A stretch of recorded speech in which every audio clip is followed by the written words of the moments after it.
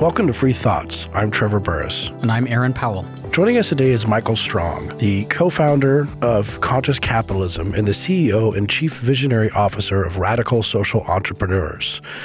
He is the lead author of Be the Solution How Entrepreneurs and Conscious Capitalists Can Solve All the World's Problems, and the author of The Habit of Thought From Socratic Seminars to Socratic Practice. Welcome to Free Thoughts, Michael. Thank you. I'm delighted to be here. I'd like to start with your background because you've had a history, an interesting history, and you weren't always into free markets. So, what kind of brought you to this point? Absolutely, thank you. Um, my parents were not educated, and you know, I basically educated myself, discovering Harper's, New York Review of Books, New Republic, and so forth. And as a college student, I realized that all smart people were socialists. We all admired Scandinavian socialism, and so uh, then I discovered that economists, in particular Chicago economists, believed that free markets were good. And with all the hubris of youth, I thought, well, clearly they must be missing something. So to grad- for graduate school, I went to the University of Chicago in the Committee on Social Thought, and I went there to discover where the Chicago economists went wrong. I realized quickly enough that I was absolutely clueless about economics. I ended up doing a dissertation under Gary Becker on ideas and culture as human capital, and really became a free market then once I understood the benefit of free markets. Later, I went to an Institute for Humane Studies uh, workshop and discovered both anarcho capitalism, you know, David Friedman's work and so forth, and then Austrian economics, uh, Hayek in particular and I've become ever more deeply interested in these fabulously powerful paradigms, uh, intellectual and moral paradigms, ever since. But you didn't end up going into academia.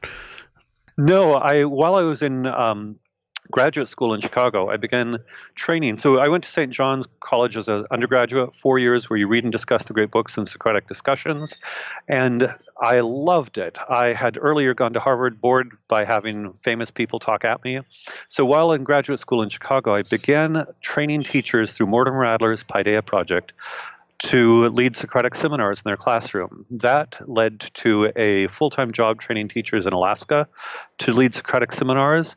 We were on soft money, and when the grants ran out, some parents asked me to create a private school based on the same Socratic principles. And that led to me essentially becoming, by accident, an education entrepreneur. And I spent most of my life then creating small schools based on Socratic inquiry, entrepreneurship, and um, you know, personal development uh, in both charter schools and private school contexts. So, a lot of your work and writings have to do with social entrepreneurship. Can you tell us what that is, how that's different from just starting a business, regular kind of entrepreneurship? Absolutely. Well, you know, I am uh, absolutely a do-gooder. I, when I was on the left, I wanted to make the world a better place, uh, peace, prosperity, happiness, and well-being for all. And it was only through studying economics that I realized government is a catastrophically bad mechanism for making the world a better place. Uh, entrepreneurship is a much better one. So to kind of connect it directly, uh, um, in I think it was about 2001, John Mackey, now CEO of Whole Foods, founder of Whole Foods, co-founder, he and I agreed that entrepreneurship was more effective at making the world a better place than government. So, really, ideologically, I describe myself more as a radical social entrepreneur than as a libertarian, simply because for me, it's not about reduced taxes and regulation per se. It's that government systemically prevents people from making the world a better place through entrepreneurial initiative.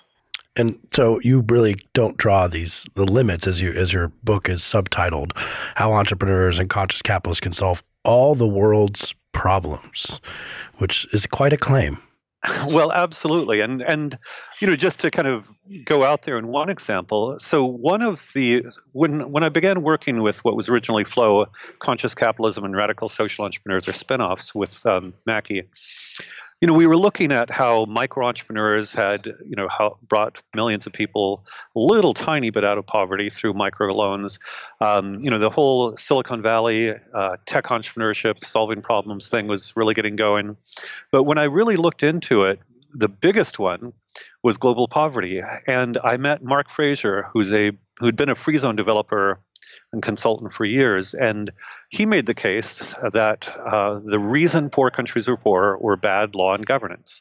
And um, you know, way back, uh, Milton Friedman had, had basically proposed uh, replicating Hong Kong in order to create prosperity around the world. And so through Mark Frazier and others, I began really looking into how can we create zones of higher quality law and governance in order to create prosperity. Eventually, that led to my involvement in uh, a free zone in Honduras. Uh, it was mistakenly associated with Paul Romer and charter cities, but Romer was sort of a uh, afterthought from the Honduran perspective. Um, so just before getting into all these solve all the problems, and I've got ideas for other things, the big one is global poverty you know, uh, in China, thanks to special economic zones, in the last 30 years, average GDP per capita has increased from about $1,000 per person to about $6,000 per person. It's average urban wages, actually. And with about 700 million urban Chinese, never before in human history have so many people escaped poverty so dramatically. Uh, that alone is a spectacular improvement. And as zones around the world are being designed to improve law and governance, uh, I see, as do many people in this movement, that we can very rapidly uh, eliminate global poverty if we're allowed to do so. What is exactly a, a free zone or a special economic zone? Sure. Um, well, they really began, the modern era began in the 1930s with uh, when the governments around the world became heavily statist, and a zone was a really a, a, very localized region that was exempt from some of the trade barriers and later ta- some taxes and regulations, because no matter what national politics dictated in terms of uh, you know heavily statist policies realistically you need you need to trade to have some prosperity. So export processing zones which was kind of one of the first phases led to where there were you know in some cases no tariffs on goods produced within the zone for export uh, export processing zones led to greater prosperity in taiwan south korea japan ireland mexico mauritius um, in some respects India, later China, of course. And the idea was it's very difficult to get good policy passed on a nation state basis, but it's very possible within a small localized zone. Um, you know, in Dubai, there's a financial zone that's 110 acres. Chinese special economic zones are city scale, so much larger. But the point is, you're not you don't have to fight all the vested interests if you only want reforms in a zone. Bob Haywood, who is the executive director of the World Economic Processing Zones Association for decades, uh, was one of the world's leading experts, and he believes that zones are a path around Douglass North's natural state issue, where basically oligarchy is the natural state of things, and the miracle is why it's not oligarchy everywhere all the time. He points out that very often zones are initiated not by the central oligarchs, but by the second cousin, you know, the the rent the rent seekers who are a little bit on the outside, maybe the younger brother, or somebody who's not already at the middle of the rent seeking system, but has influence enough to say, hey guys, you know, just give me a little freedom in this zone. And, you know, the rest of the family says, okay, whatever, you can have your little zone over there. And then, you know, it's more formal than that. But he said, underline the whatever is going on in public, those sorts of family dynamics are going on in the background that allows these little zones to be created and then those zones become prosperous. And as they become prosperous, uh, everybody else wants in on it. And so that's how zones have expanded both uh, to greater geographical territory, but also Haywood makes a compelling case the zones have led to broader economic liberalization as uh, some of the elites in some of these countries realize there's more to be had through more economic freedom rather than the, the tight, closed rent seeking oligarchy that's, again, uh, North's natural state. Now you mentioned Dubai, and it, it's sort of it seems kind of weird, maybe because we just think of states as doing what states generally do. That they would be like, here's did you say 110 square miles, and I mean, what did they actually do to set up a zone uh, that was different? So, was there a line so, that you crossed and everything is suddenly very different, uh, different police and everything? What did they actually do to, to do that? So not that extreme. And, and to be clear, Dubai is has been one of the most innovative zone creators around the world. There are, you know, four uh, businesses that want to identify the best jurisdiction within which to do business. There are lists made by trade associations of best zones in the world, and uh, out of the top, so Dubai has, I don't know, 15, 20 zones at this point. Um, and out of the world's top ranked zones, many of them are Dubai. So there's an airport zone, there's an IT zone, and there's a financial zone. And so Dubai has created a model, and I think the leaders of Dubai deserve credit for this, for creating zones where there are both special uh, freedoms within those zones, as well as um, you know some deliberate government-led attempt to concentrate um, you know talent. So you know industrial policy has a bad name among libertarians, but on a tiny, tiny scale of a city-state, especially a tiny zone within a city-state, you know, I think Dubai, like Singapore, is run almost more like a business than just like a uh, than like a regular nation state. But within these zones, then there's a deliberate attempt to attract uh, capital and talent based on specially designed uh, zone rules. The most exciting of which, and the one that I regard as an important precedent, is the Dubai International Financial Center, which has a different legal system. So typically, the zone is simply fewer laws and regulations, but same legal system. Dubai wanted to be a world class financial center. This is the early 2000s. Sharia law is not very friendly to finance, so they're very pragmatic. They identified British common law and they identified a prestigious commercial law judge from Britain and another one from Singapore. Now they've got a panel of some 20 prestigious judges from around the world from credible jurisdictions. And those judges actually handle cases, um, commercial law cases within the zone based on Brit- British commercial law. And so, the, as a consequence of that, they succeeded in track, attracting Citibank and Goldman Sachs and you know all of the big finance institutions. And Dubai has become the finance hub of the Middle East. They went from basically nothing to a top 20 financial center in less than 20 years by means of importing, uh, you know, best of class commercial financial law. So I'm I'm struck by the selection of countries that you've mentioned because you started this by saying that government is we need to free up entrepreneurship and government is what gets in the way. But the countries that you've mentioned, Dubai and China and Honduras, aren't exactly you know prime examples of human liberty. Um, these are these are fairly autocratic or authoritarian or restrictive regimes. And so, is there a I guess first, is there a tension there? Um, and then second, why why are countries like that willing to set up zones as opposed to, say, are freer Western nations? Well, first of all, you know, I, would love for uh, all of them to have both personal liberty and economic liberty. But the fact is, when we look at potential sites for zones, I would say uh, desperation and enlightenment are what we're looking for. And desperation or poverty. You know, the, the world, living in the United States, uh, you know, almost everything I see, you know, that people care about on campuses anymore are definitely first world problems. Somehow, um, my sense is the left doesn't care about global poverty anymore because free markets are the solution.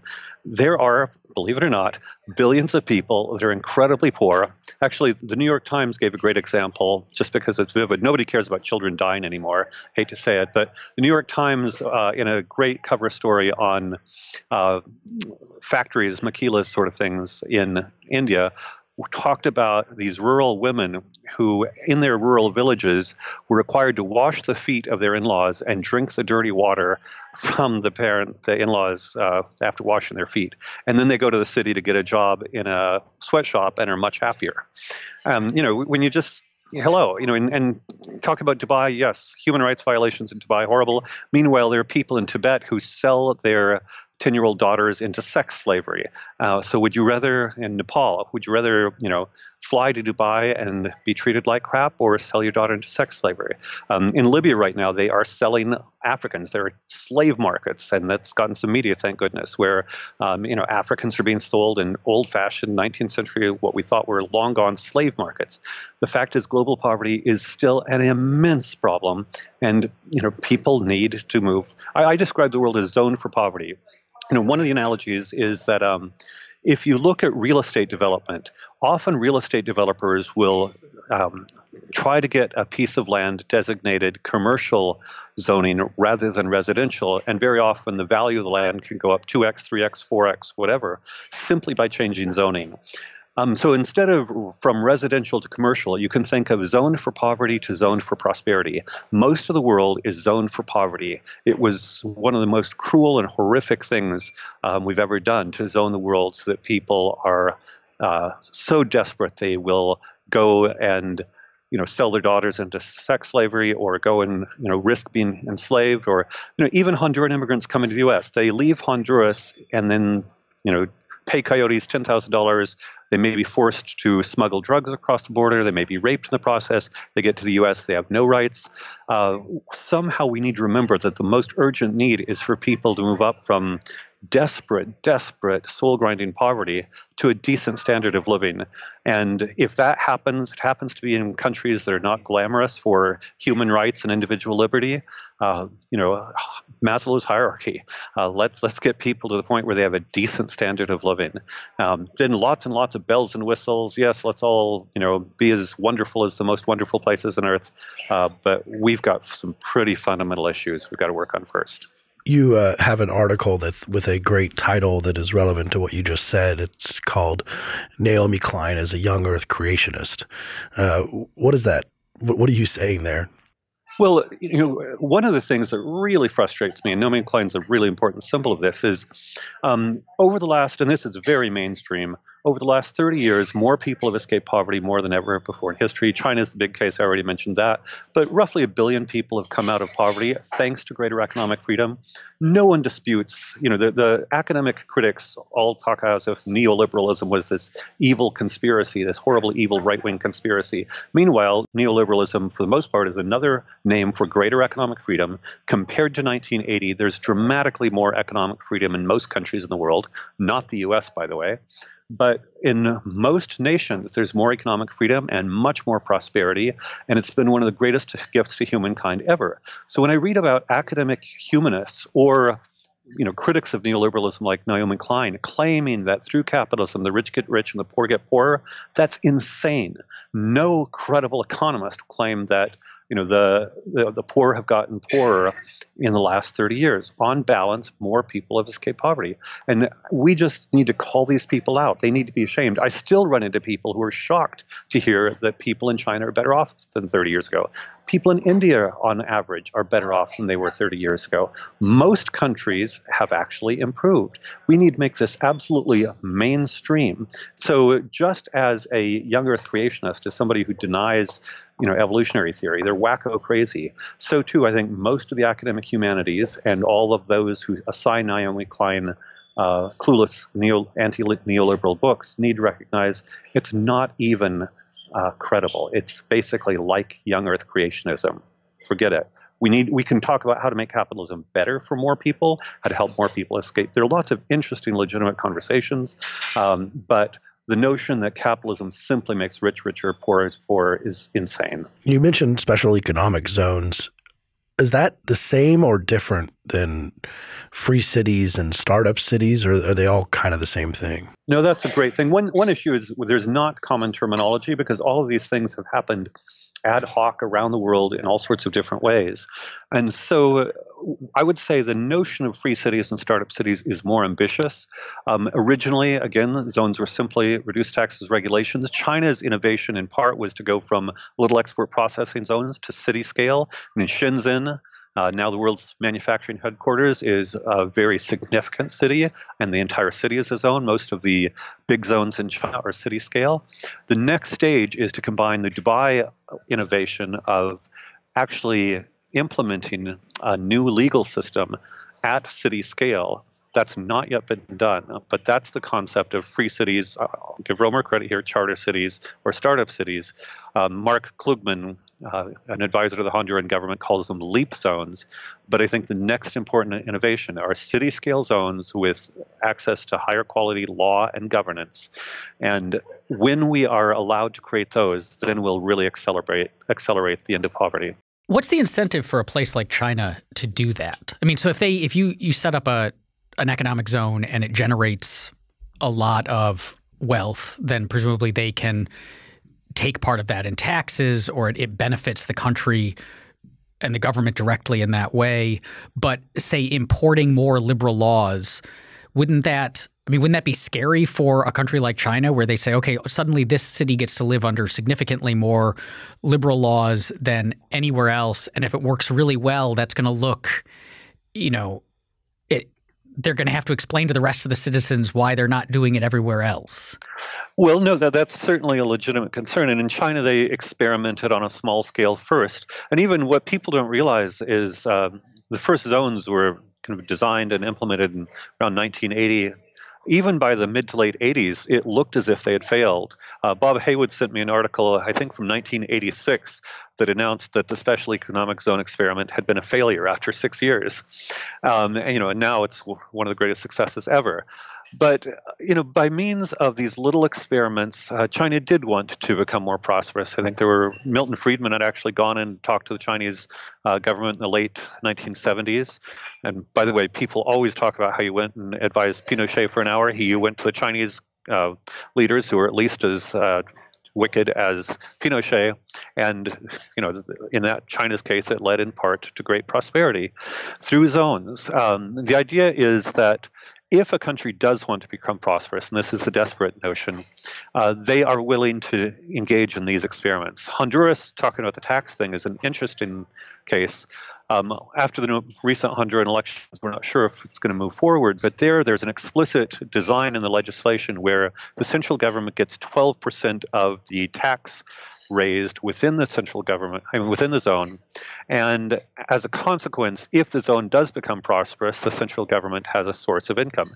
The Honduran the, who designed the legislation were brilliant because, in addition to that feature, the cash from the zone is allocated between the legislative branch, executive branch, judicial branch, military, and municipalities. And that's a straightforward way to get buy in from all those um, sectors. In addition, it must go through a Honduran bank. And basically, there are like three Honduran banks owned by the you know the few, and so they get the they get the float on this tax. So uh, you know in in many ways it's possible to design legislation so that the right people get paid off as if as it were uh, in the open transparently.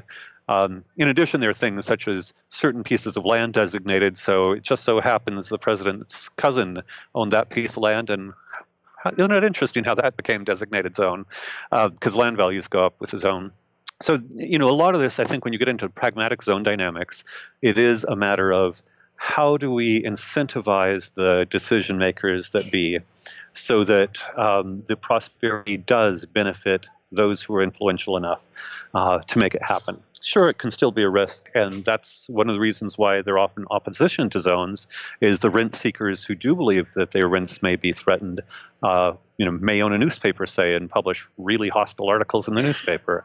But you know with as with all legislation it's it's you know at some level uh, interest based and you need to find a set of interests who are sufficiently aligned to support the zone because uh, short medium and long term they will gain.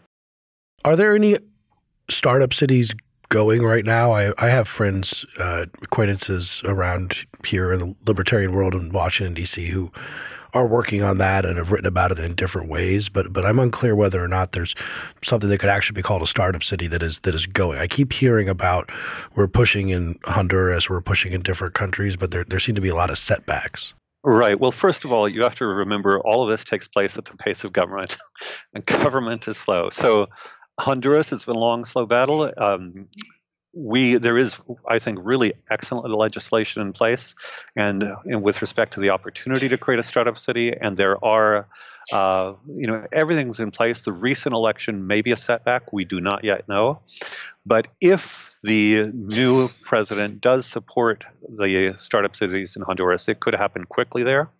There's also an interesting situation in Myanmar where um, there's a the Karen tribe there was engaged in a civil war. It's the longest running civil war, something like 75 years. They mostly settled about five years ago with central government. More recently, there were a few flare-ups after that, but more recently, it looks as if there's uh, stable stability there. And the Karen tribe, in exchange for a ceasefire, in essence, has obtained legal autonomy.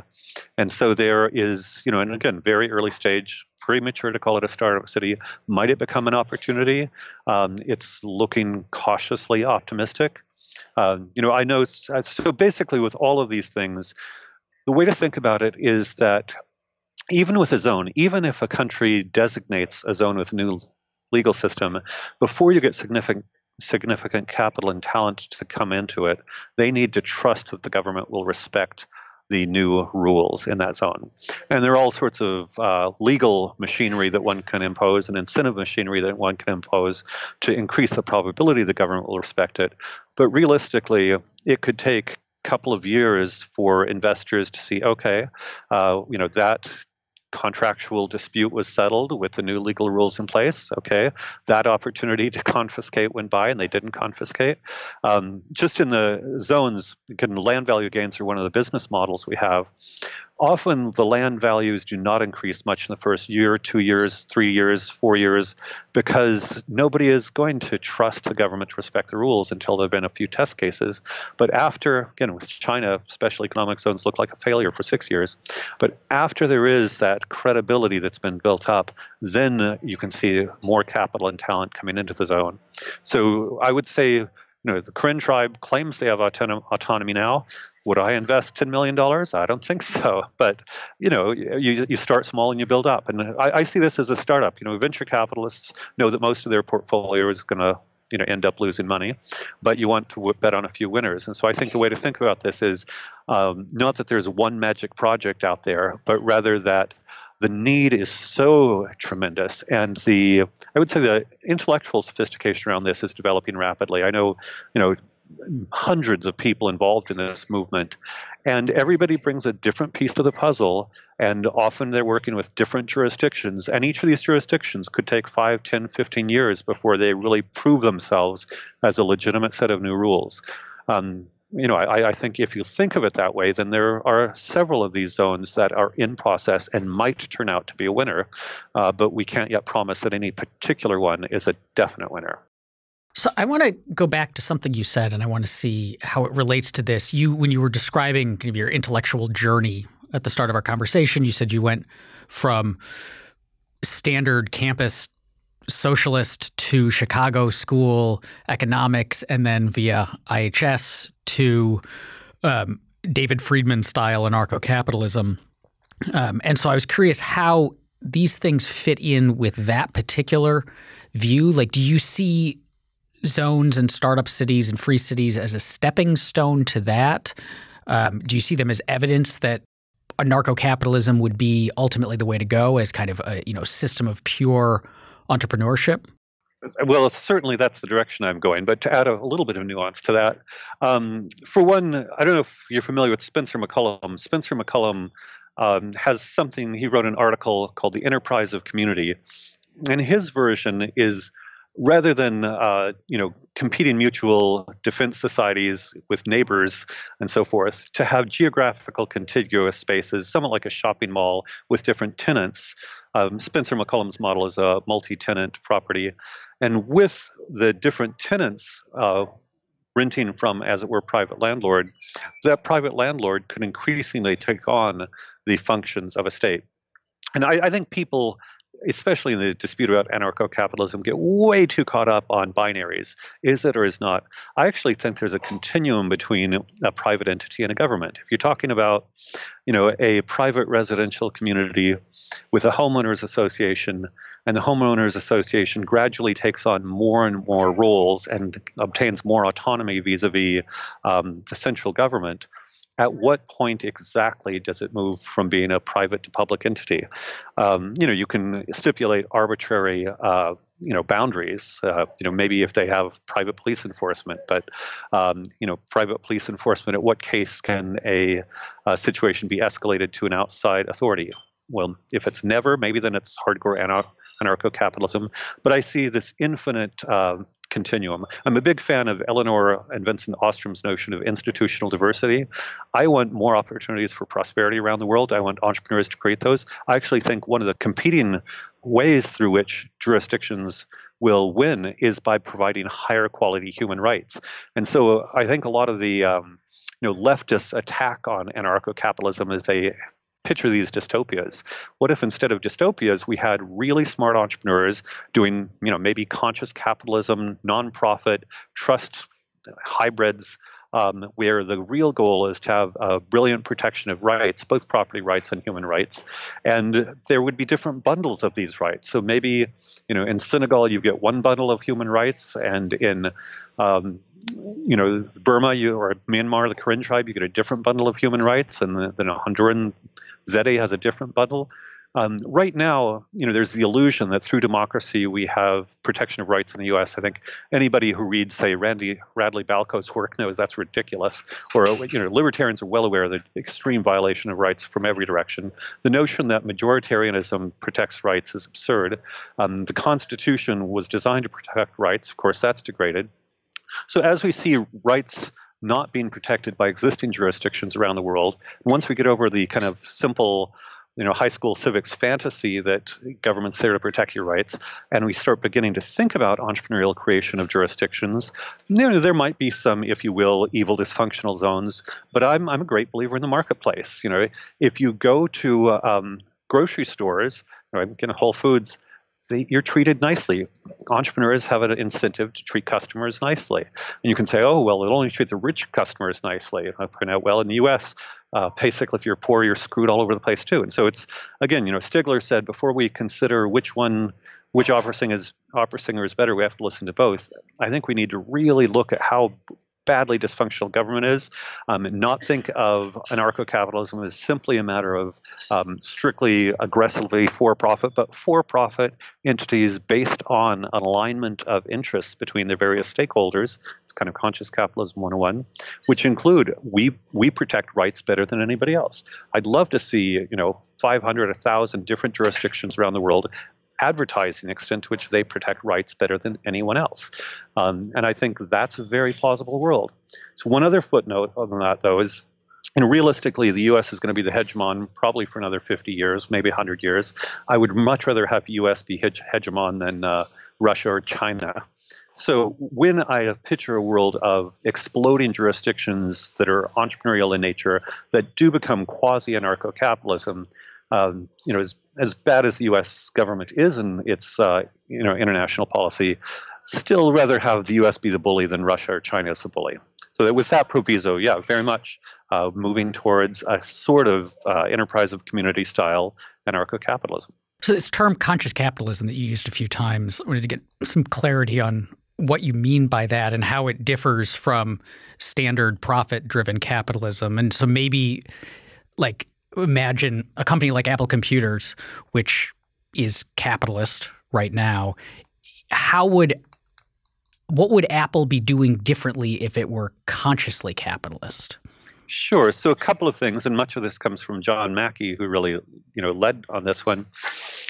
So first of all, although there is the the machinery of markets that necessitates profitability and ever, you know, the more profitable uh, you know, higher returns on investment are going to be preferred to lower returns on investment. That said, there are a couple of other things going on, and Milton Friedman and John Mackey had a great debate on this in Reason magazine maybe 15 years ago. One element is, first of all, people love to uh, are, are, by nature, I think we want to have, be driven by a purpose. And so, of course, some people, uh, their purpose is to make as much money as possible. But a lot of young employees um, and talented young people want to work for companies. You could say it's window dressing, but companies that have a purpose. And so you, you may be cynical and say it's window dressing, but I actually think, again, Maslow's hierarchy, a lot of young people would rather work for some company where they believed they were doing good than some company that they thought they were engaged in evil. My um, part of my dissertation with Becker was looking at shadow prices for ideas and culture. Um, and Becker is very empirically pragmatic. The question is, are there shadow prices? So, for instance, might a person of uh, you know talent X, you know maybe a, an MBA from a great university, if he could work for you know a company that he thought he was eliminating global poverty versus a company that he thought was robbing widows, um, or she, and you know there was a um, salary sacrifice of 20% for the do-gooder company rather than the let's kill all the widows and orphans company. That's a shadow price of 20% salary for working for the purpose-driven company. And i think um, you know if we're really talking about killing widows and orphans versus ending global poverty i actually think the shadow price for working for a do-good company would be higher than that. And um, you know, over time, that mechanism, along with the consumer mechanism, again, there are estimates that one third of consumer purchases in the U.S. are based on, to some extent, on perception of the uh, values of the company again, a lot of lot of ridiculousness out there. Uh, I'm not claiming it, it all makes sense, but I think that due to Maslow's hierarchy, as we become more prosperous, more of us are going to want to make decisions of various sorts based on meaning and purpose, and we want to be allied with good guys. And I think that that is an active mechanism. I actually want to write a book on Mises plus Maslow because basically, yes, Mises is you know great economics and it's this hardcore you know uh, libertarian as you wish, but there are Maslowian mechanisms that are also active, and I believe those will grow. And if you combine, um, you know, reputation mechanisms, I think there's a plausible reason to believe that those that direction will increase in the 21st century.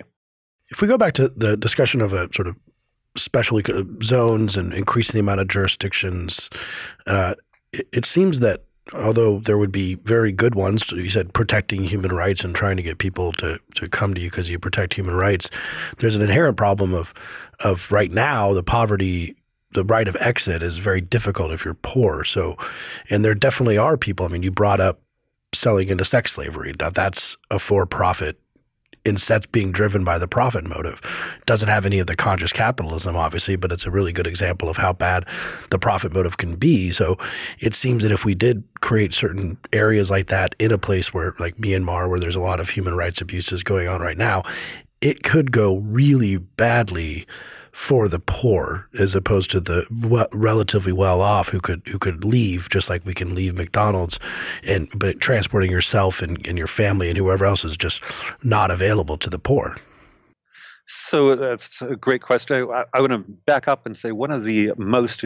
I once wrote an article called "Academia is the World's Leading Social Problem" because I think one of the most damaging aspects of academia is so many people come out of universities with degrees that lead them to they think they know what's going on in the world, but so much of university life is stupidly anti-capitalist. This goes a little bit back to Naomi Klein, Young Earth Creationist, where um, if people think that capitalism is the profit motive, they really are not very well educated. Um, you know, just to focus, new institutional economics is not sexy, and it's not you know simple in a way libertarianism is much simpler to understand.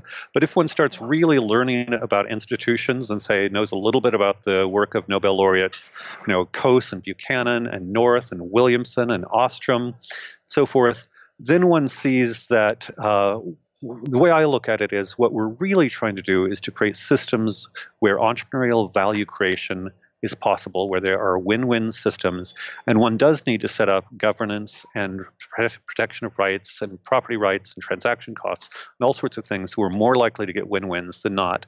And that's not an ideological issue. There are actually you know different ways to set up different situations to ensure positive outcomes rather than negative outcomes but those positive outcomes are much more aligned with free market economics than they are with um, statist absurdities that anti-capitalists promote. So the number number one thing is first let's realize that capitalism has brought you know billions of people out of poverty.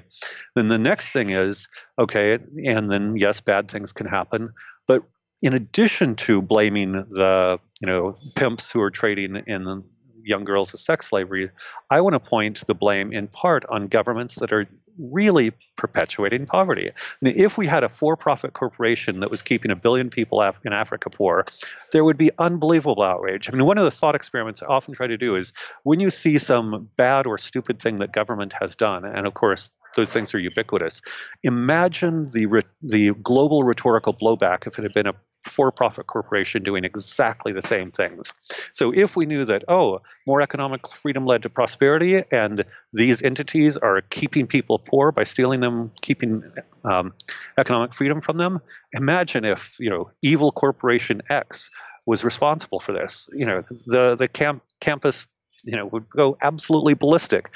Um, so I, I, think a lot of this is learning to focus. I, I wrote a post called uh, "Hierarchy of Moral Outrage" for "Let a Thousand Nations Bloom," where, yes, you know, Union Carbide in India, the Bhopal disaster, bad thing.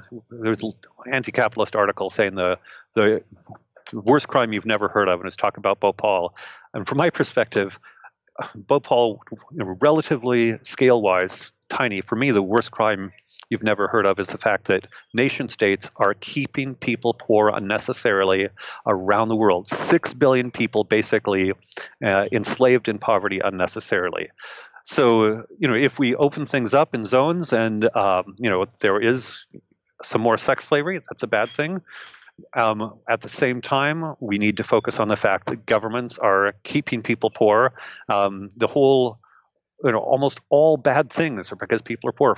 Fred Turner, wonderful poet, um, has an article called, um, you know, make everybody rich. Basically, the solution to all problems is make everybody rich.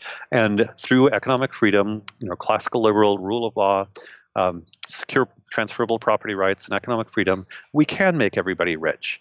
And why are we not doing it? Because anti-capitalism and the states they support. So as Trevor mentioned at the beginning, the um, subtitle of your book is ultimately conscious capitalists can solve all the world's problems. So I, I, suppose I could ask, are there any problems that you think we need government for? Um, but maybe another way of asking that is, so someone listening to this who is perhaps more skeptical of outright markets and entrepreneurship might say, that all sounds well and good, but really what you're describing is still – you're describing governments enabling people to then innovate and create wealth. That these zones that are set up are still inside of regimes that have provided defense, have provided a level of safety, have provided a level of baseline wealth, have set up rules that have allowed markets to progress to a certain point. Um, when you're when you're importing other rules, like in Dubai, you're simply importing the rules from a different government.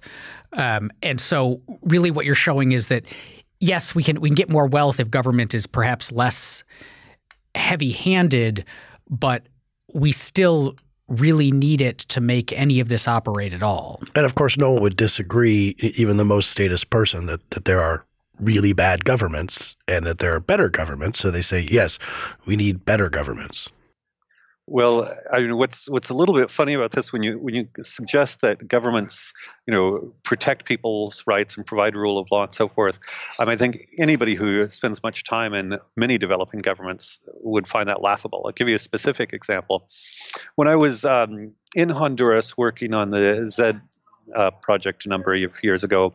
NPR sent some interviewers down there to interview. It turned out uh, it was Romer and Octavio Sanchez in the final cut. But when they were interviewing me, they said, "What makes you think that you can do a better job than the Honduran government in providing these services?" And I looked at them, and you know, NPR is pretty left leaning. And I looked at them and said, "Could we do any worse?" And they immediately acknowledged, "Okay, done." I mean, you know, these, these governments I, have been in government offices around the world where people show up two or three hours late you go in and, and you know ask what are the rules for a project they have no idea um, you know and it's not all incompetent incompetence i have huge respect for uh, some of the people we were working with in the honduran government but as a system um, you know most governments are really, really incompetent, and some combination of evil and incompetent because they're all the, the cronists and so forth. So, you know, when when people, I think people need to become uh, James Buchanan's word, government without romance.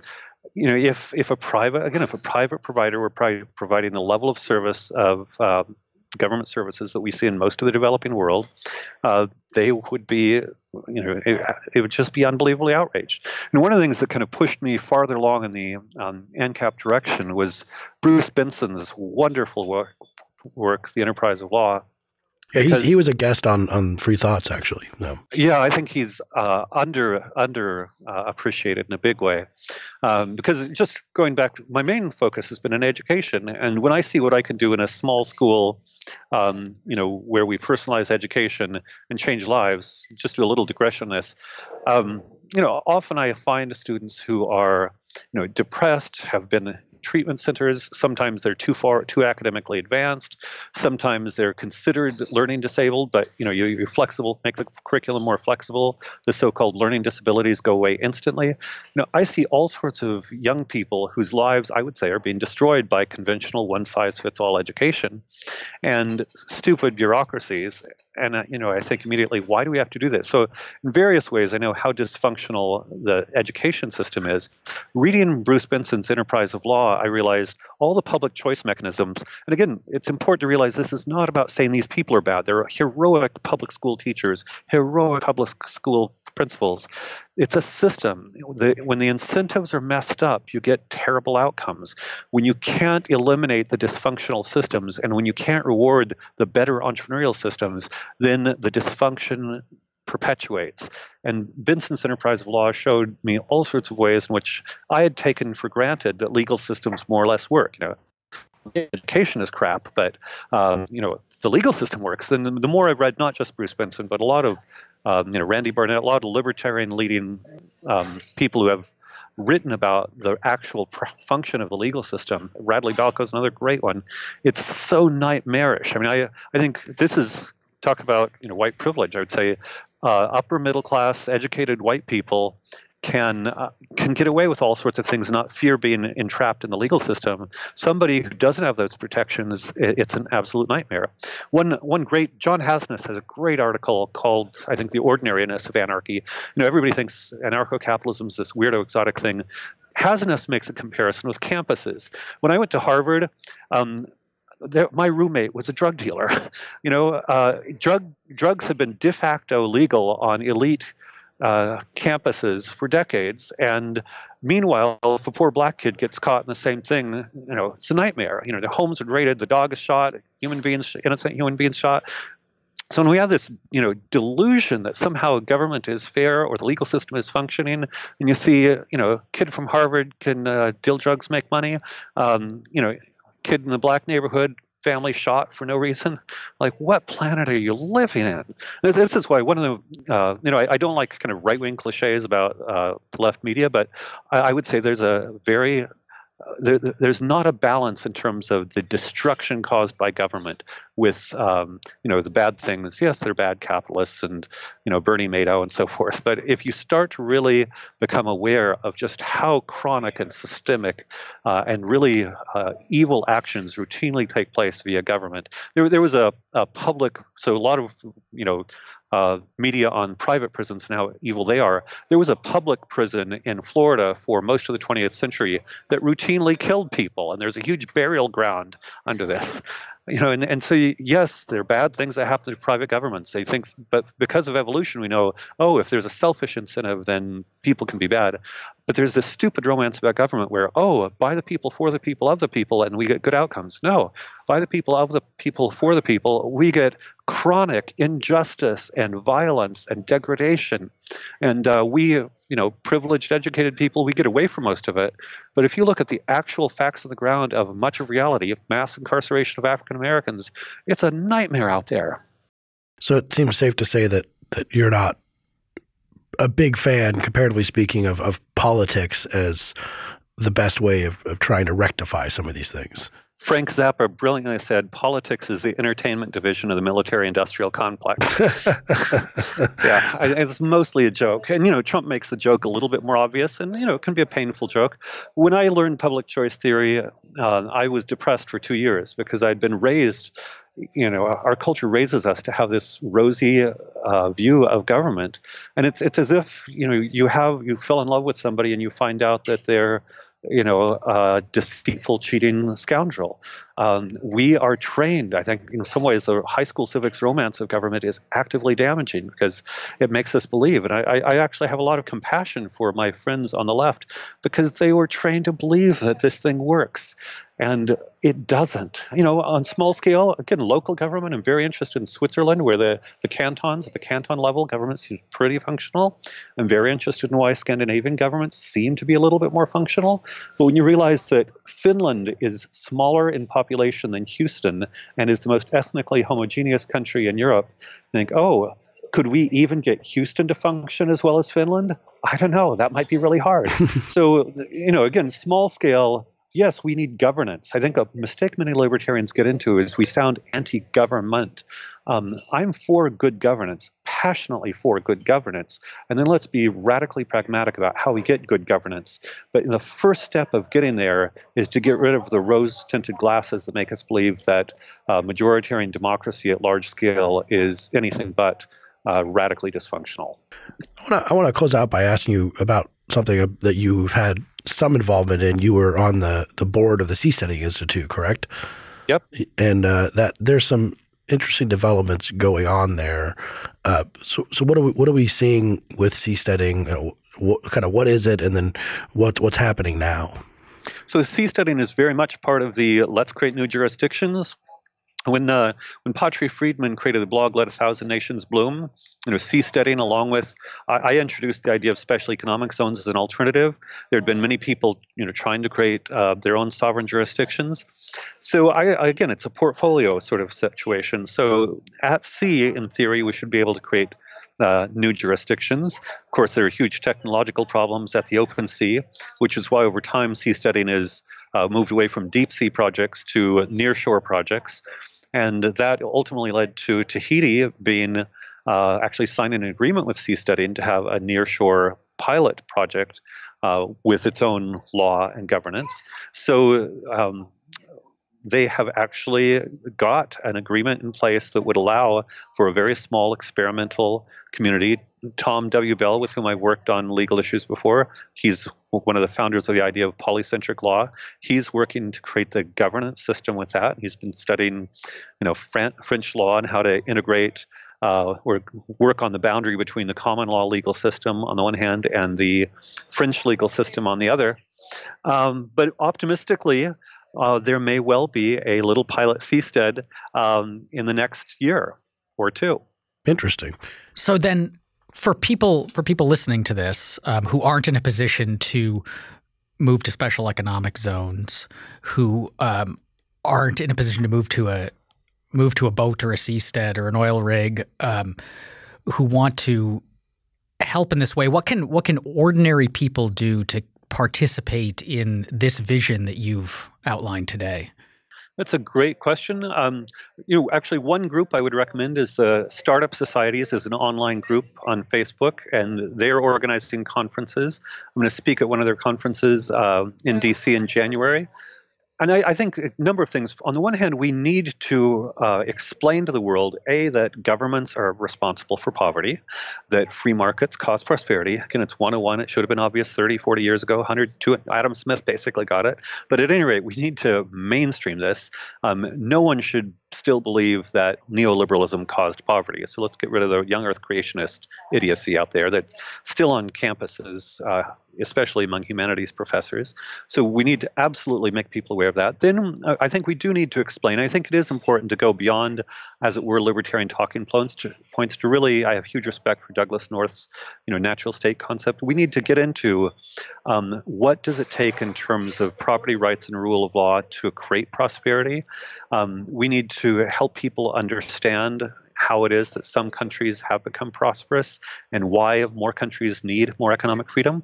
You know, my wife is a Senegalese entrepreneur. She's uh, actually has a TED talk coming out and is a leading uh, proponent of explaining why African countries are poor because of a lack of economic freedom. Uh, I often speak as well, and almost nobody knows that African countries are drowning in red tape and are heavily regulated. So there's a lot of basic economic development 101 that needs to be explained.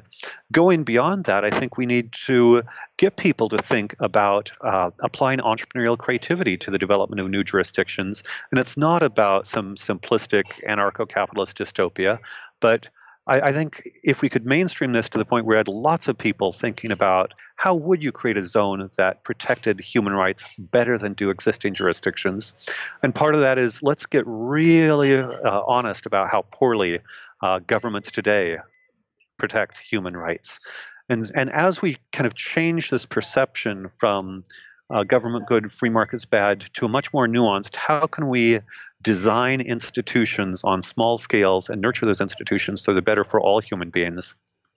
Then also we'll need a pipeline of people with nuts and bolts skills. So we'll need a lot of uh, entrepreneurial legal experts. I've worked with a lot of legal experts. Uh, some of them are really boring and not very creative. Others are very visionary. We need a whole generation of visionary legal experts. There are going to be countless concrete legal problems to be solved in moving from nation states to innovative jurisdictions. Also, you know, municipal services. We're I'm a big fan of um, the Silver Springs, Georgia, you know, small, small uh, Oliver Porter created this, you know, tiny uh, government that was, you know, three or four people and subcontracting out the rest of municipal services in Sandy Springs, not Silver Springs, Sandy Springs, Georgia. And we're, we've talked to Oliver Porter about um, the ways in which he wrote those contracts and how you got different companies to provide different municipal services. Um, you know, environmentalism. I'm a big believer in protecting the environment in Honduras. You know, I've gotten to a granular level of okay, uh, governments have laws in the book. In general, in poor countries, they're not enforced to protect the environment. How do we actually create cost effective ways for um, local, as it were, quasi-private governments to protect uh, the environment. And some of this does get into a, a cost issue. Um, government you know, entrepreneurs are great at providing higher quality, lower cost, and more specialized. Because governments have dominated, say, environmental protection, a lot of environmental protection is just incompetent. So when you start trying to do it from a private perspective, exactly how do you monitor, say, you know, effluents going into um, a sensitive coral reef? Uh, in an effective way? And exactly how do you ensure that there are uh, appropriate penalties in place? So when I go to this bigger picture of entrepreneurial solutions to all problems, you know, I don't care if it's a, a nonprofit or a trust or a voluntary, you know, religious organization or a for-profit. I don't care what the entity is. I think people are way too, for atavistic reasons, attached to the motivation. We need to get away from exactly how you know that high level motivation is and get into the granular level of incentives. And this is why new institutional economics is important to see how do we create more effective structures for getting the job done. And in some ways those will be more effective systems for environmental protection human rights protection um, health and well-being of you know as an educator young people is very high priority for me. If we could as entrepreneurs design entire safety nets, if entire welfare systems, um, child protective services. Most people, you know, libertarians, we don't care about children. I'm very interested in if you were an entrepreneur, child protective services is really messed up. You hear about kids being taken away, killed by foster families, horrible things, unjust injustices. Okay, if you're an entrepreneur, how do you solve that one more effectively? I don't know off the top of my head, but I do believe that if we have hundreds of thousands of our brightest and most ambitious people looking very carefully at systems and incentives in order to con- create a process of continuous improvement will actually, through um, entrepreneurship broadly construed, be better at child protective services than our existing governments. And I could go on and on. I think one of the worst problems about politics is people get stuck in right left idiocy. Uh, again, if, if it was an evil plot to keep us thinking about ways to keep ourselves down, uh, we would never go for it. It's not just the Russians influencing it, it's the Democrats and Republicans influencing us to think about politics nonstop when in fact there are positive, win win, non zero sum solutions. And the more people we can separate out from the tribal bigotries of left right politics into a proactive entrepreneurial value creation that benefits everybody, the faster we'll get there. Thanks for listening. This episode of Free Thoughts was produced by Tess Terrible and Evan Banks. To learn more, visit us on the web at www.libertarianism.org.